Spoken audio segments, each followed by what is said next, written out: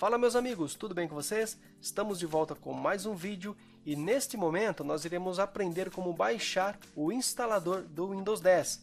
Iremos baixar uma imagem ISO do Windows 10 oficial, original diretamente do site da Microsoft, preparar um pendrive bootável que posteriormente poderá ser utilizado é, para formatar a sua máquina, PC ou notebook, ok? Detalhe que para fazer é, essa preparação, obviamente você precisa estar em um PC ou notebook funcionando, igual estou aqui nesse momento. Estou aqui no Google, digitei Windows 10 Download, tem aqui o link para baixar a imagem de disco do Windows 10, o link aqui é oficial da Microsoft, ok? Vou clicar aqui. Estamos aqui na página oficial do Windows 10. Neste momento apareceu para mim aqui essa opção de atualização, que não é o que eu vou fazer nesse momento. Você pode rolar um pouquinho mais abaixo, caso, caso apareça para você também esse update. A opção que me interessa é esse carinha aqui, ó, onde eu vou baixar uma ferramenta que vai gerar para mim o pendrive. Vou clicar aqui então nesse botãozinho. Eu já baixei uma vez, ele vai baixar de novo aqui. Esse carinha é o criador de mídia do Windows 10, já fez aqui o download, foi bem rápido porém a, o download da imagem ISO em si que vai demorar um pouquinho mais. Vou clicar aqui nesse carinha. O criador de mídia aqui do Windows 10 vai fazer alguns preparativos aqui na minha máquina. Nesse ponto aqui vou clicar em aceitar. Ele vai fazer mais alguns preparativos. Vamos esperar mais um pouco. Detalhe que todos esses passos aqui, eles podem demorar um pouco mais ou um pouco menos, dependendo aí da velocidade da sua internet e do seu PC ou notebook. Nesse ponto aqui, ele me dá duas alternativas, se eu quero atualizar esse PC aqui, ou se eu quero criar uma mídia de instalação. Eu quero criar uma mídia de instalação. Vou clicar em avançar. Nesse ponto aqui ele define algumas propriedades, tomando como base a minha máquina nesse momento. Então ele já setou ali o idioma para português, a edição do Windows 10 que será baixada é a Pro. E a arquitetura, ele já definiu para mim aqui 64 bits. Recomendo fortemente que você utilize a arquitetura de 64 bits. Se você tiver uma máquina, um processador que não suporte 64 bits, suporte apenas 32, realmente você tem uma máquina, um processador bem antigo que não vai funcionar legal com o Windows 10, tá? Então eu recomendo que você utilize 64 bits. Se por qualquer motivo aparecer para você aqui, ó, arquitetura de 32 bits nesse ponto aqui, significa que você está rodando um sistema operacional nesse momento de 60 de 32 bits e por isso ele pegou essa configuração. Se isso acontecer, eu recomendo que você desmarque aqui essa opção. Escolha aqui a opção de 64 bits. Vou deixar marcado aqui então 64 bits. Se você quiser mudar o idioma também fique à vontade, eu vou deixar português. E a versão do Windows 10 aqui, a única disponível é essa aqui, que é a versão Pro. Legal? Vou clicar aqui em avançar. Nesse ponto ele pergunta se eu quero é, salvar uma imagem, um arquivo ISO ou se eu quero uma unidade flash USB. Unidade flash USB, caso você não saiba, é um pendrive. É, ele pede aqui um pendrive de pelo menos 8 GB para que ele possa criar a instalação de forma bem tranquila. vou deixar marcado aqui então. Nesse ponto é interessante que você tenha um pendrive que você não vai utilizar para outras coisas. Se tiver algum arquivo importante também nesse pendrive, faça um backup porque ele será apagado, ok? O pendrive será totalmente zerado. Vou clicar em avançar. Já detectou aqui o meu pendrive. No meu caso, ele é o disco local G. Eu tenho vários discos aqui, ele detectou o meu pendrive aqui, ó, que é a letra G. Nesse ponto, tenha cuidado aí de selecionar o seu pendrive de forma correta, tá? Não tem nenhum rótulo nele. Vou clicar em avançar. Nesse ponto aqui ele já começou a baixar o Windows 10. Esse processo aqui ele pode demorar um pouco mais ou um pouco menos, dependendo aí da velocidade da sua internet. Pode demorar alguns minutos, como pode demorar horas, ok? Vai depender especificamente aí da velocidade da sua internet. Legal? Eu vou dar uma pausa no vídeo e quando finalizar aqui esse processo eu volto. Estamos aqui em 97% do processo, já estamos finalizando basicamente aqui todo esse processo de criação da mídia de instalação do Windows 10. Vamos esperar mais algum tempo. Nesse momento ele vai verificar o download que foi efetuado e vai começar a preparar o pendrive. Nesse ponto então ele está preparando o pendrive. No meu caso aqui, ó, o meu pendrive já começou a ter espaço ocupado. Ele foi renomeado para ESD-USB. Veja que alguns arquivos já estão sendo gravados aqui dentro desse pendrive. E assim que ele completar aqui 100%, esse nosso pendrive já estará apto para inicializar um PC ou notebook e assim fazer uma formatação de forma bem tranquila. Está finalizando então aqui o processo de criação do pendrive. Ok, chegamos então aqui ao final do procedimento. No meu caso aqui o pendrive já foi criado de forma bem tranquilinha. Meu pendrive aqui agora já está pronto. Vou dar aqui um, um clique no botão concluir. Uma vez que nós temos então o nosso pendrive com a instalação do Windows 10 pronto, a gente pode agora reiniciar a nossa máquina, nosso PC ou notebook e fazer a instalação do mesmo. Esse procedimento ele é indicado quando, por exemplo, você instala um novo HD ou SSD no teu PC ou notebook, ou até mesmo quando você já tem um HD ou SSD rodando na tua máquina e por algum motivo você precisa refazer a instalação do Windows, seja por lentidão ou por qualquer outro problema ok?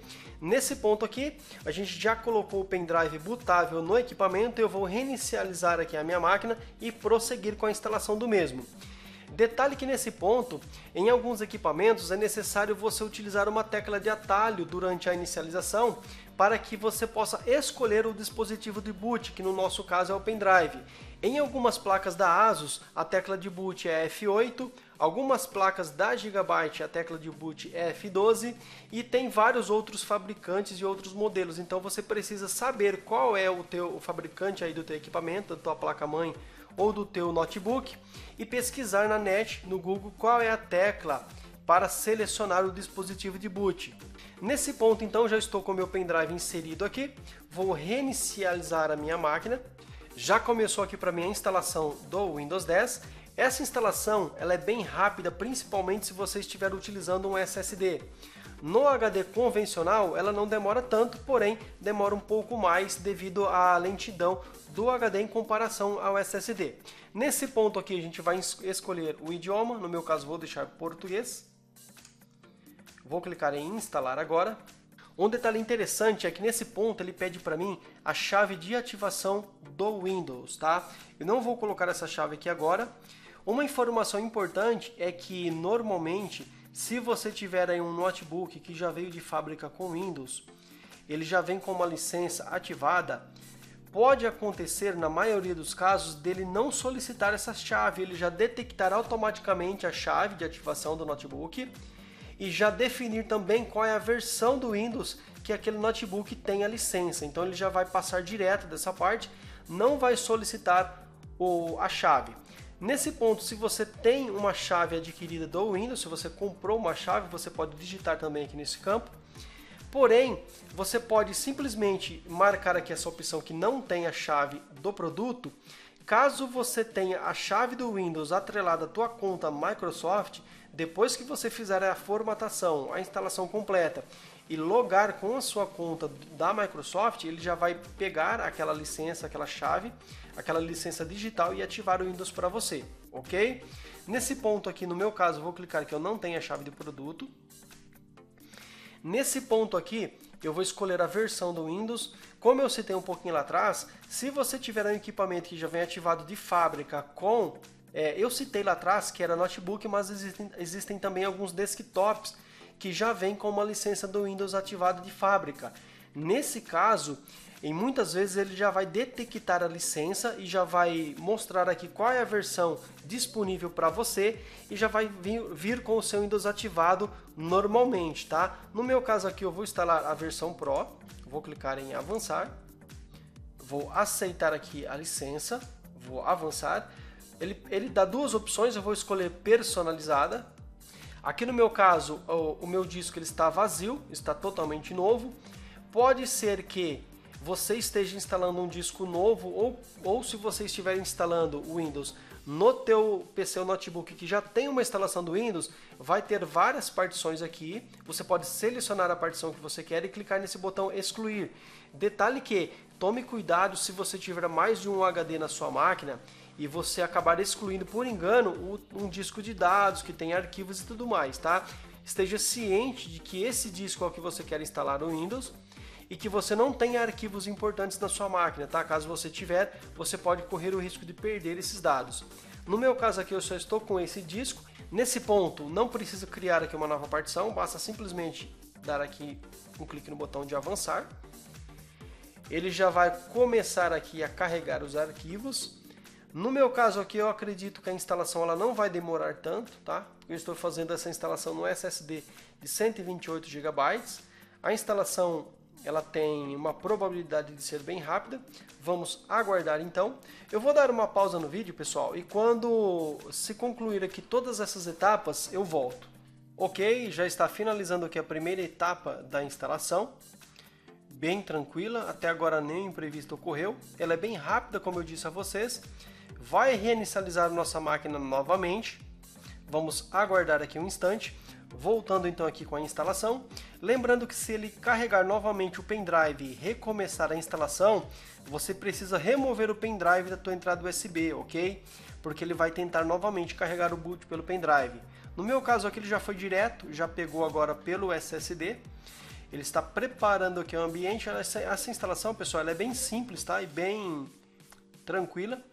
Lembrando, pessoal, que esse procedimento é bem simples, tá? Esse vídeo não é voltado ao usuário mais avançado, mas sim ao usuário doméstico mais leigo que quer simplesmente fazer por conta própria uma instalação simples do Windows sem maiores complicações, ok? Eu tenho certeza que para você que é iniciante na área de TI, esse vídeo aqui ele tem uma utilidade muito grande, pois muitas pessoas jamais fizeram o download e a instalação de uma versão do Windows, ok? Nesse ponto agora a gente vai começar com algumas configurações. País, formato aqui do teclado, normalmente no, quem tem um teclado português é a ABNT 2. Ele pergunta se eu quero um segundo layout de teclado, normalmente eu pulo essa etapa. Nesse ponto aqui ele vai reiniciar mais uma vez aqui o, o dispositivo. Vamos então aguardar. Ok pessoal, estamos chegando então na reta final aqui da instalação do Windows 10. Nesse ponto aqui ele vai trazer um assistente dando algumas opções também. Vou configurar aqui para uso pessoal, próximo. Nesse caso aqui, se você já tiver uma conta da Microsoft, você pode inserir aqui os seus dados. No meu caso, vou criar uma conta nesse momento offline. Aqui ele dá um aviso que para que eu possa aproveitar os benefícios aqui dos aplicativos da Microsoft, eu posso entrar aqui com a minha conta. No meu caso, eu vou criar realmente uma conta offline. Vou marcar aqui experiência limitada. Aqui eu, eu vou colocar o meu nome, nome do usuário aqui. Vou avançar. Ele pede uma senha, você pode colocar aí uma senha se você preferir. No meu caso aqui eu vou deixar 100 e agora ele faz algumas perguntas aqui que você pode ver o que ele está dizendo e aceitar ou não. No caso aqui, essa primeira opção eu já vou marcar não. Essa próxima não também. Não, essa daqui eu vou marcar a opção de baixo. Nesse ponto aqui eu vou clicar em ignorar. Nesse ponto aqui ele quer habilitar a Cortana, vou clicar em agora não. E agora, pessoal, já estamos realmente na reta final aqui da instalação. Eu espero que esse vídeo tenha sido útil para você. Eu tenho certeza que com esse vídeo você conseguiu fazer a instalação do Windows de forma bem tranquila aí na tua máquina, sem nenhum tipo de problema.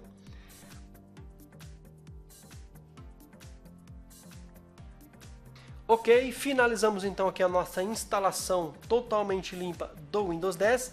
Eu espero que esse vídeo tenha sido útil para você. Agora você pode fazer a instalação dos seus programas de forma bem tranquila, de forma bem simples. E é isso aí, pessoal. Abraço e até um próximo vídeo.